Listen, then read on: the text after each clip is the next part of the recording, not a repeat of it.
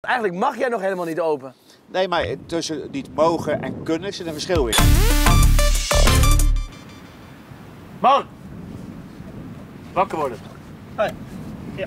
ja, goed, want eh, we blijven natuurlijk gewoon aan het werk eh, in deze coronatijd. En als het aan deze Haagse ondernemers ligt, dan gaan zij deze woensdag weer open. Terwijl dat natuurlijk eigenlijk niet mag. Maar ze gaan open onder het mom van als we een boete krijgen, hier om deze reden, zijn we toch al failliet. Dus kunnen we die ook niet meer betalen.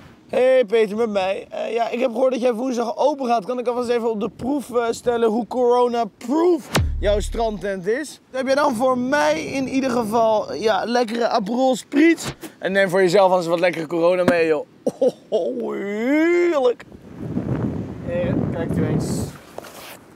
Worden. Hey. De corona's. Asje. Hoor, heel eh, corona-proof ook. Zeker weten. Een beetje burgerlijke ongehoorzaamheid vanaf jouw kant, Peter. doen we leven lang al. Een beetje ongehoorzaam. Op een mooie dag. Kijk eens aan, maar zaken gaan door, zaken gaan door. Nou, deze pak ik even. Zo, nou, ik heb mezelf vast gewoon maar gelijk wat ingeschonken. Heel goed man, heel goed. Maar eh, ja, in ieder geval, nou ja, dus... Aperolletjes sprits, proost Ja, lekker. Eigenlijk mag het natuurlijk niet, hè, wat je gaat doen als je woensdag gewoon weer open gaat. Maar we gaan niet gewoon open, de, de restaurants blijven dicht. De terrassen blijven dicht.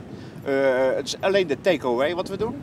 En de mensen op het strand. Normaal liggen ze met een kleedje op het strand en nu liggen ze op een lichtbedje.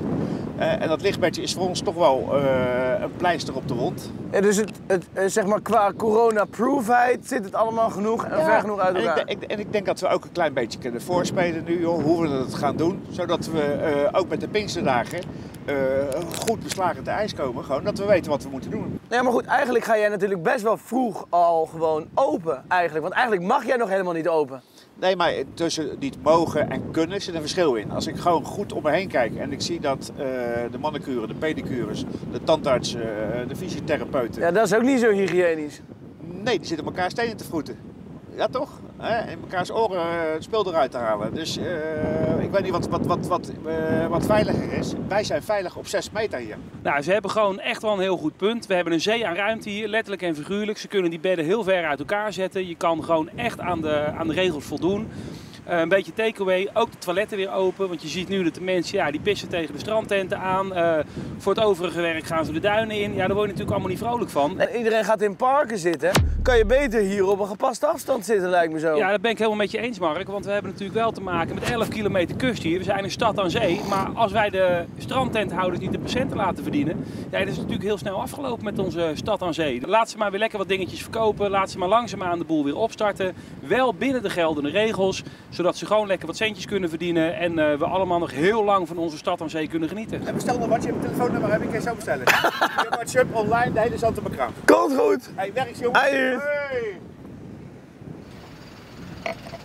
Ah.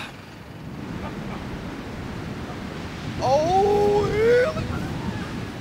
Ah.